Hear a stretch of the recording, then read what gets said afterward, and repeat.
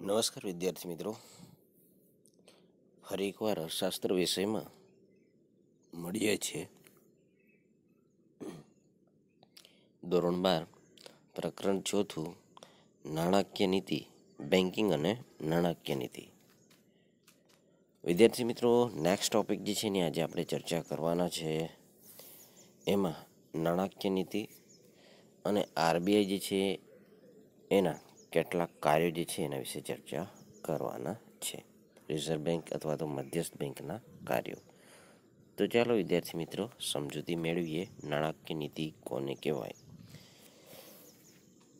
અર્થશાસ્ત્રના સિદ્ધાંત મુજબ, નાણાકીય નીતિ એટલે અર્થતંત્રમાં નાણાંની માંગ અને નાણાંનો પુરવઠાનું સંચાલન નિયંત્રણ કરવાની નીતિ એટલે નાણાકીય નીતિ.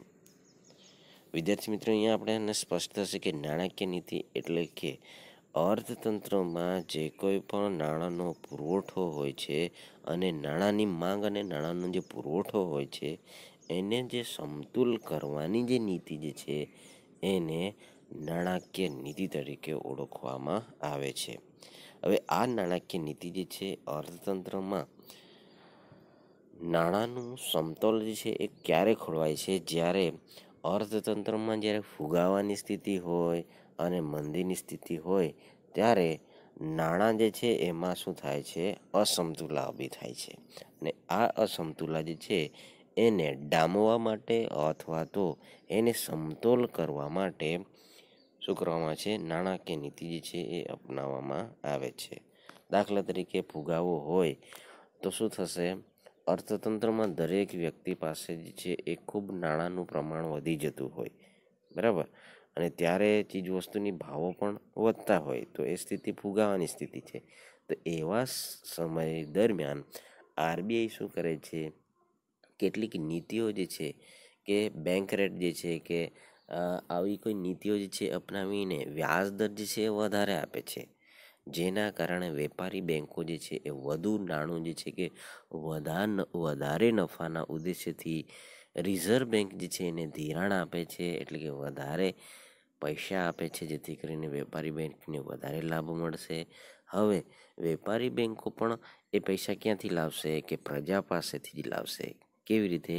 કે નાણાં પર વધારે વ્યાજ આપીને, કોને? પ્રજાને વધારે વ્યાજ આપીને નાણાં જે છે એ વધારે પ્રજા પાસેથી મેળવશે. એટલે પ્રજા પણ હવે શું કરશે? વધારે બેંકમાં પૈસા મૂકવા માટે પ્રેરાશે. તો એ રીતે જે છે, અર્થતંત્રમાં જે કોઈ પણ નાણું જે છે, અથવા તો ફુગાવારૂપી નાણું જે છે, વધારે નાણું જે છે, એને કંટ્રોલ કરવાની નીતિ જે છે, એને શું કહેવાય છે? નાણાકીય નીતિ તરીકે ઓળખવામાં આવે છે. તેવી રીતે મંદીની સ્થિતિ હોય, ત્યારે શું કરશે? રિઝર્વ બેંક શું કરશે? વિદ્યાર્થી મિત્રો, ત્યારે જે છે એ સસ્તા નાણાંની નીતિ અપનાવશે. એટલે કે હવે વ્યાજ જે છે એ ઓછું કરી દેશે, જેથી કરીને વેપારી બેંક જે છે ઓછા નાણાં મૂકશે, કેમ કે ઓછા ઓછા નફાની શક્યતા હશે. તેવી જ રીતે વેપારી બેંક પણ હવે લોકોને ઓછું વ્યાજ આપશે, જેના કારણે લોકોને પણ શું થશે? ઓછો નફો થશે. તો લોકો ફરી પાછા ઓછા નાણાં જે છે એ વેપારમાં, વેપારી બેંકોને મૂકશે. તો એવી રીતે જે છે એ મંદી જે છે એ રીતે કંટ્રોલમાં આવે છે.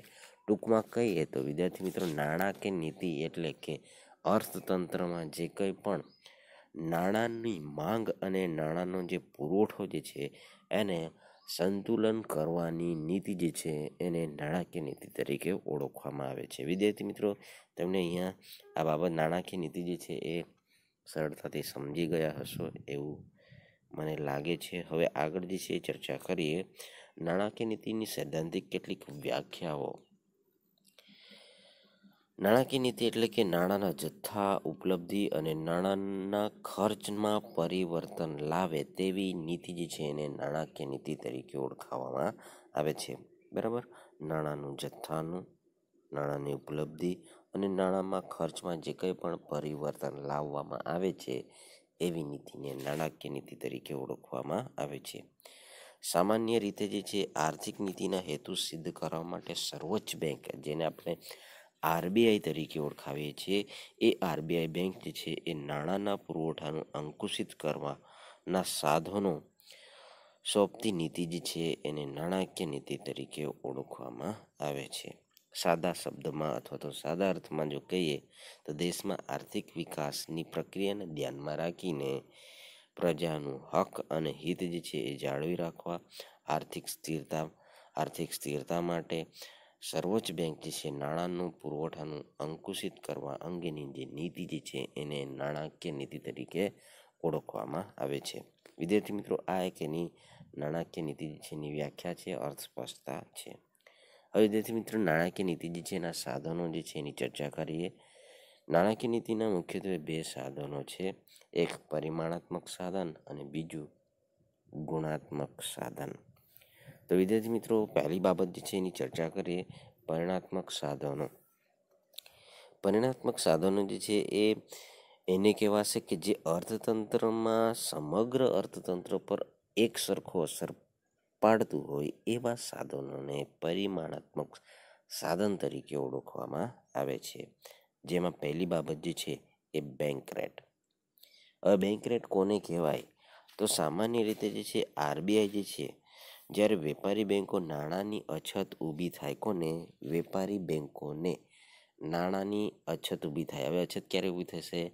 જ્યારે કોઈ બેંક જે છે નુકસાનમાં જવાની હોય એ જે છે ખોટમાં જવાની હોય અથવા તો કોઈક એની કપરી પરિસ્થિતિ જે છે હશે, તો એને નાણાંની અછત આવશે. અને આ અછત જે છે એ પૂરી કરવા આરબીઆઈ જે છે એ નાણાં જે છે, જે લાંબા ગાળાનું ધિરાણ જે છે, લાંબા ગાળાનું ધિરાણ જે છે એ આરબીઆઈ વેપારી બેંકને આપે છે અને જે વ્યાજ દરે જે આપે છે શું નાણાં એ દર્દ છે એને બેંક રેટ તરીકે ઓળખવામાં આવે છે. ટૂંકમાં કહીએ તો આરબીઆઈ વેપારી બેંકને લાંબા ગાળા માટેનું જે વ્યાજ દરે ધિરાણ આપે છે એ બેંક એને શું કહેવાય છે? બેંક રેટ તરીકે ઓળખવામાં આવે છે. બેંક રેટ જે છે એ, એનો વ્યાજ દર ઊંચો હશે તો એને મોંઘા નાણાંની નીતિ તરીકે ઓળખવામાં આવે છે અને ઓછો હશે તો શું થશે? એને સસ્તા નાણાંની નીતિ તરીકે ઓળખવામાં આવે છે. ખાસ કરીને આગળ ચર્ચા કરી ગયા વિદ્યાર્થી મિત્રો, અર્થતંત્રમાં જ્યારે ફુગાવો હોય છે, ત્યારે એ શું કરે છે? વેપારી બેંક જે છે, એમને વધારે વ્યાજ જે છે, એની લાલચ આપીને શું કરે છે? એ અર્થતંત્રમાંથી ફુગા નાણાં જે છે, એ કલેક્ટ કરે છે અને મંદી હોય ત્યારે શું કરે છે? સસ્તા નાણાંની નીતિ અપનાવીને ઓછું વ્યાજ દર આપે છે. એ રીતે નાણાંનો શું કરે છે? નાણાંનો પુરવઠો ને સંતુલન કરે છે. ટૂંકમાં કહીએ તો મંદી અને ફુગાવા જે છે એની સ્થિતિને કંટ્રોલ કરે છે. વિદ્યાર્થી મિત્રો, અહીંયા આપણે કેટલાક વર્ષો જે છે એમાં બેંક રેટ જે છે એનું પ્રમાણ જે છે દર્શાવ્યું છે. તમે કોષ્ટક જે છે એનું અનુસાર જે છે ચર્ચા કરીએ તો ઓગણીસો ત્રેપનમાં ત્રણ પોઈન્ટ પાંચ જે છે બેંક રેટ જોવા મળે છે. એક્યાસીમાં દસ ટકા જેટલું બેંક રેટ જે છે જોવા મળે છે એકાણુંમાં બાર પોઈન્ટ અને ફરી ઘટીને બે હજાર સોળમાં સાત ટકા જેટલું બેંક રેટ જે છે જોવા મળે છે. બરાબર? તો આમ જે છે બેંક રેટ જે છે, આપણે શીખી ગયા વિદ્યાર્થી મિત્રો બેંક રેટ કોને કહેવાય? હવે પછી એનો પરિમાણાત્મક સાધનોનો બીજો ટોપિક જે છે, એ રેપો રેટ અને reverse repo rate repo rate કોને કહેવાય? જ્યારે વેપારી બેંકો જે છે, ટૂંકા ગાળા માટેનું નાણાંની જરૂર પડે ત્યારે આરબીઆઈ પાસે નાણું લે છે, જે દરે વેપારી બેંકો, બેંકોને આવું નાણું આપે. તે દર જે છે કે તે રેટ જે છે ને બેંક રેપો રેટ તરીકે ઓળખવામાં આવે છે. ટૂંકા ગાળાનું ધિરાણ એટલે કે એક દિવસનું, સાત દિવસનું અને પંદર દિવસનું એમ ટૂંકા ગાળાનું જે ધિરાણ આરબીઆઈ પાસે જ્યારે વેપારી બેંકો જે છે લે છે અને એનું જે વ્યાજ દર જે છે, જે દરે આપે છે નાણાં, એને શું કહેવાય છે? રેપો રેટ તરીકે ઓળખવામાં આવે છે. વિદ્યાર્થી મિત્રો, રેપોનો મતલબ અથવા તો અર્થ જે છે એ રીપર્ચેસ રેટ તરીકે ઓળખવામાં આવે છે. ટૂંકા ગાળાનું આવું ધિરાણ લેવા માટે વેપારી બેન્કો જે છે, આરબીઆઈને કોઈ પણ વટાવ દરે જે છે પરત કરવાની શરત જે છે એ જામીનગીરીઓ સાથે જે છે એ વેચતું હોય છે. કોણ? આરબીઆઈ. આ વટાવ દર જે છે એટલે શું છે? રેપો રેટ બરાબર? ટૂંકમાં અહીંયા ફરી એ જ બાબત આવે છે કે ફુગાવાના સમયે આરબીઆઈ છે રેપો રેટ જે છે વધારી દે છે. જેથી કરીને વધારે પૈસા જે છે અર્થતંત્રમાંથી ખેંચાઈ આવશે અને મંદી હશે ત્યારે ફરી શું કરશે? રેપો રેટ જે છે એનું પ્રમાણ જે છે ઘટાડી દે છે. જેથી કરીને અર્થતંત્રમાં ફરી પાછા નાણાં જતા રહેશે. તો આર જે છે એ રેપો રેટ જે છે આપણે જોઈ ગયો. વેપારી બેંકને આરબીઆઈ જે છે ટૂંકા ગાળાનું જે ધિરાણ પૂરું પાડે છે એને રેપો રેટ તરીકે ઓળખવામાં આવે છે. એના પછી જે છે એ રિવર્સ રેપો રેટ જે છે એની ચર્ચા કરીએ વિદ્યાર્થી મિત્રો. હવે આરબીઆઈ જે છે ઊંધું છે અહીંયા. આરબીઆઈ જે છે, વેપારી બેન્કો જે છે, આરબીઆઈને કોઈ નાણાં જે છે એની કે ધિરાણની જરૂર પડે, ત્યારે વેપારી બેન્કો પાસે આરબીઆઈ જે છે પોતે ધિરાણ લે છે. એને શું કહેવાય છે? રિવર્સ રેપો રેટ તરીકે ઓળખવામાં આવે છે, વિદ્યાર્થી મિત્રો. અહીંયા શું થયું છે? ઊંધું. રેપો રેટ જે છે એમાં વેપારી બેન્કો ધિરાણ લેતી હતી. હવે જે છે, રિવર્સ રેપો રેટમાં આરબીઆઈ ધિરાણ લે છે. એ સ્થિતિ જે છે એને રિવર્સ રેપો રેટ તરીકે ઓળખવામાં આવે છે. જ્યારે રિવર્સ રેપો રેટ જે છે એ વધુ હોય, ત્યારે વેપારી બેન્કો જે છે એ આરબીઆઈને લોન આપવા માટે વધુ આકર્ષાય છે. રિવર્સ રેપો રેટ જે છે એ વધુ હશે. ત્યારે શું થશે? એને વધારે વેપારી બેન્કો જે છે એને વધારે નફો મળશે માટે એ શું કરશે? વધારે નાણાં જે છે એ મૂકવા માટે આકર્ષાશે. અને એનાથી વિરુદ્ધ જોઈએ તો રિવર્સ રેપો રેટ ઓછું હશે તો શું થશે? ઓછા નાણાંનું ધિરાણ કરશે. છેલ્લા કેટલાક આંકડાઓ જે છે એ રિવર્સ રેપો રેટ અને રેપો રેટ જે છે એના આંકડાઓ છે જોઈ શકો. જાન્યુઆરી સોળ, બે હજાર છમાં રેપો રેટ જે છે છ પોઈન્ટ પાંચ, પચાસ ટકા છે. રિવર્સ રેપો રેટ જે છે એ પાંચ પોઈન્ટ પચાસ ટકા છે. માર્ચ દસની અંદર પાંચ પોઈન્ટ જીરો ને ત્રણ પોઈન્ટ પચાસ. ઓગસ્ટ સોળ જે છે એમાં છ પોઈન્ટ પાંચ ટકા અને અનુક્રમે છ ટકા જેટલું જોવા મળે છે. આગળનું પરિમાણાત્મક કાર્ય જે છે એમાં જોઈએ તો કપરા સમયમાં સ્થિરતા લાવવાની જોગવાઈ. આરબીઆઈ જે છે એ વિશિષ્ટ જોગવાઈઓ જે છે એમાં કપરા સમય એટલે કે જે કંઈ અગવડતા અથવા તો મુશ્કેલીના સમય જે છે એમાં નાણાંની અછતો જે છે કે કટોકટીના સમયે પણ અમુક જ વેપારી બેંકો વેપારી બેંકો જે છે આરબીઆઈ પાસે જે છે સરકારી જામીનગીરીઓ જે છે મૂકીને નિર્ધારિત દર જે છે ધિરાણ લે છે. આ દર છે એને રેપો રેટ કરતાં વધુ હોય છે. દાખલા તરીકે બે હજાર સોળમાં સાત ટકા દર જેટલું શું જોવા મળે છે? માર્જિનલ ફેસિલિટી જે છે એ તરીકે એને ઓળખવામાં આવે છે. શેને? કટોકટીના સમય જે છે એ સ્થિરતા લાવવાની જોગવાઈ જે છે એમાં આપણે શીખી ગયા વિદ્યાર્થી મિત્રો કે કટોકટીનો સમય હોય ત્યારે વેપારી બેંકો જે છે, એનો અમુક ટકા હિસ્સો જે છે, નાણાંનો કે જામીનગીરીઓને કે સોના કે દાગીના જે છે, એ અમુક ટકા કોની પાસે હશે? આરબીઆઈ પાસે હશે. જ્યારે પણ બેંક જે છે, એ કોઈ નુકસાનીમાં જવાની હોય કે કોઈ કોઈ એને આપત્તિ આવશે, ત્યારે શું કરશે? એ જામીનગીરીઓ, એ નાણું જે છે, એ શું કરશે? કામ આવશે એને. તો એ બાબત જે છે કપરા સમયમાં સ્થિરતા લાવવા માટે કામ આવે છે. રોકડ અનામતનું પ્રમાણમાં ફેરફાર. રોકડ અનામત એટલે કે તમને ખ્યાલ આવી જ જશે શબ્દ પરથી કે અમુક ટકા જે છે એ આરબીઆઈ જે છે એ પોતાના નાણાં જે છે એ પોતાની પાસે રાખે છે. દાખલા તરીકે ઓગણીસો ને ચોત્રીસની ધારા મુજબ દરેક વેપારી બેન્કોએ પોતાની થાપણો જે છે અમુક ટકા રકમ જેટલી આરબીઆઈ પાસે રોકડ અનામત તરીકે રાખવાની હોય છે. વેપારી બેંકે એ જ બાબત છે. આપણે સ્થિરતા માટે જે શીખી ગયા એ જ બાબત. કે એ અમુક ટકા જે છે નાણું જે છે નકદ નાણું અને કેટલીક જામીનગીરીઓ વગેરે જે છે એ કોની પાસે રહે છે? રિઝર્વ બેંક પાસે રહે છે. શરૂઆતમાં વર્ષોમાં આ પ્રમાણે જે છે ચાલુ ખાતાની થાપણો જે છે પાંચ ટકા અને લાંબા ગાળાની થાપણો છે બે ટકા જેટલું નક્કી થયું હતું. ઓગણીસો છ, બાસઠ પછી કુલ થાપણો છે ત્રણ પોઈન્ટ, ત્રણ ટકાથી પંદર ટકા જેટલું રોકડ અનામત રાખવાનું નક્કી કર્યું હતું. આરબીઆઈ જે છે, જરૂરિયાત મુજબ રોકડ અનામત જે છે, એમાં શું લાવે છે? ફેરફાર કરે છે. રોકડ અનામત એટલે કે અમુક ટકા રકમ જે છે, એ પોતાની પાસે રાખે છે. બધું જ જો શું કરવામાં અર્થતંત્રમાં એને ધિરાણ સ્વરૂપે કે અન્ય આર્થિક સવલતોની દૃષ્ટિકોણથી પ્રજાને એ રૂપિયા જે છે બેંક ખર્ચી નાખે તો શું થશે? કોઈ દિવસ નુકસાનીમાં જશે ત્યારે એની પાસે કોઈ ઓપ્શન નહીં હશે. માટે એ જો પૈસા છે, એ જે રોકડ નાણું જે છે, એ શું લાવશે? મુશ્કેલીની સમયમાં એ કામ આવે છે. માટે અમુક ટકા જે છે, રોકડ અનામતનું પ્રમાણ જે છે, એ પોતાની પાસે રાખે છે આરબીઆઈ. બરાબર? કાયદામાન્ય પ્રવાહિતીનું પ્રમાણ, જેને આપણે કાયદામાન્ય પ્રવાહિતા પણ જોઈએ. બેન્કિંગ રેગ્યુ રેગ્યુલેશન એક્ટ મુજબ, દરેક વેપારી બેંક સીઆરઆર એટલે કે રોકડ અનામત છે, જુદી જુદી જુદી અને તેથી ઉપરાંત પોતાની કુલ થાપણોનું પચીસ ટકા મૂલ્ય નકદ સોનું સરકારી જામીનગીરી વગેરે જે સ્વરૂપ રાખવાનું હોય, એને કાયદા માન્ય પ્રવાહિતના પ્રમાણ તરીકે ઓળખવામાં આવે છે. આ બધી બાબત સેમ બતાવે છે.